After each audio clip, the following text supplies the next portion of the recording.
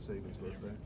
Uh, I mean, not as for a team. I know we always like you know, as soon as he come in, we always have cupcakes and like we have a little party hats on when he when he comes in. You know, just to mess with him, say happy birthday. That's pretty much it. After that, we practice. Does he put the party Yeah. hat on? Uh, Does he yeah, put the party I think hat so on? for quite a for just a little bit of time. does he allow you to take photos of it or no? Uh, I mean, you could maybe maybe just sneak We got some good money to see those photos. TMZ right I here. Hopefully, yeah. We gonna see. I might sneak one. Does, does he ever eat a cupcake or a cake or whatever? Uh, not in front of us. If he does, maybe he'll take it as he, you know, he'll walk out the room maybe after the beats, but not in front of us. I don't think he. Y'all ever get like the, the I guess it's, I don't know, yeah, little Debbie pies or whatever like that for him and Oh, um, I don't know. Maybe, maybe. I don't that's know. his treat, his go-to, right? Uh, Good talk. You're gonna ask one more question? Right. Yeah, you guys have a game this Saturday? Yeah, yeah, we Who do. you guys got? Yeah, big game LSU. Big What- game. What's the challenges of defending a team that has so many pre-snap shifts and motions like LSU, like LSU does? I mean, that's just challenging. I mean, um, a lot of the shifts and motions. I mean, and how, how complex our defense is. I mean, that could be very confusing. So I mean, that's just it's hard. Maybe with the crowd, you know, it could be loud. It could be loud. So we all have to communicate and talk. As long as we communicate and talk, we'll be fine. So is it better for the crowd to be not as loud? Hmm. When, when you guys are on defense, is it, is there an acceptable level? No, I like when they're loud. I mean, because I know it kind of you know affects the offense too as well. With their motion and shifts, I mean, they have to communicate just like us. So I mean, I like when they're loud. Make it difficult for them.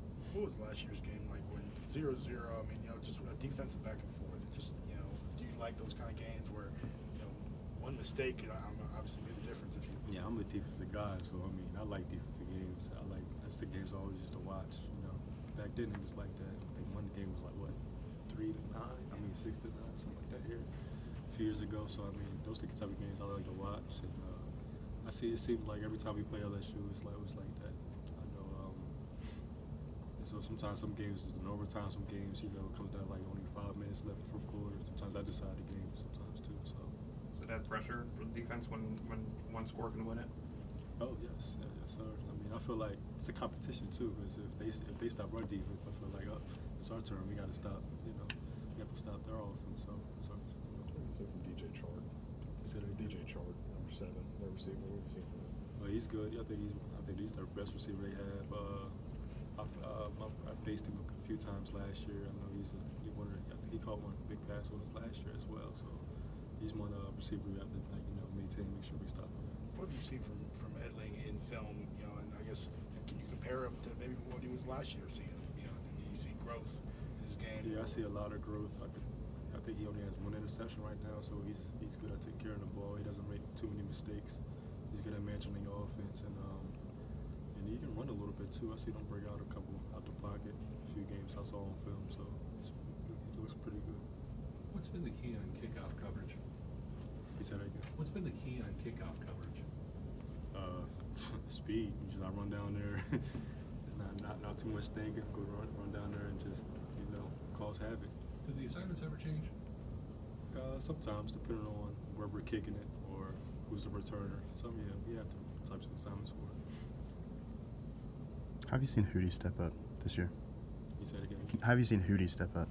he stepped up big. I mean, we lost DBs last year. This year, he stepped up and like you know into like kind of a starting role. So, I mean, he stepped up big time, and um, and he's one of the safeties that communicate across the board. So he's, he's a very important, uh, you know, secondary. How does he work with Minkah? Because that's kind of a role Minkah had last year, and then now he still does a lot of that. You know, from his one-year star, whatever he's at. But you know, how how do they kind of work together?